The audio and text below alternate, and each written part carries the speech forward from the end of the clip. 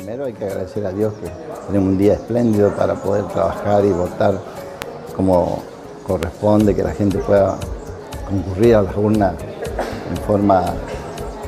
abundante, que vengan a votar todo el pueblo de Villa para tener, y toda la zona también que corresponde a esta, a esta jurisdicción,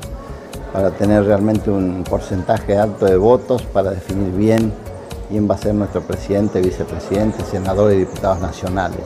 Así que realmente estoy muy contento, alegre, le digo a la gente que los aprecio mucho, este, somos personas de la misma comunidad, todos estamos este, emitiendo nuestro voto como corresponde y esperemos que termine como hasta ahora la jornada en, paz, tranquilidad y que se defina realmente ya quién va a ser nuestro presidente y vice para tratar de solucionar todos los problemas de incertidumbre que hay en este momento en el país,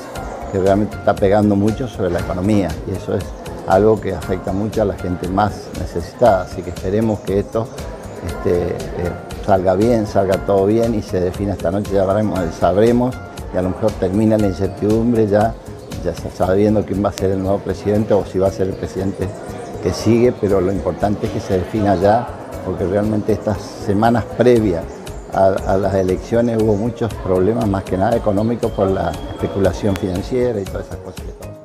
es mucho más sencillo que la última vez que votamos cuando fueron intendentes y gobernadores, este, porque hay cinco o seis boletas, es mucho más fácil de elegirlas y se las encuentra mucho más rápido. Y eso es importante para la gente, pues el otro día había muchas boletas y en realidad esas boletas este, confundían un poco a la gente porque no las encontraban por ahí, en este caso este, es fácil, a mí me tocó votar, se ve rápidamente y son pocas las boletas que hay, así que fácil se puede emitir el voto y sin ningún tipo de problema. Este, le pido a todos los ciudadanos de Villángel y de la zona que hagan un esfuerzo, tomen su mate, pídanle a, su señora, a su hijo que lo acompañen y vengan a votar este, como dando un paseo por Villángel y de paso emiten su voto y cumplen con la ley electoral.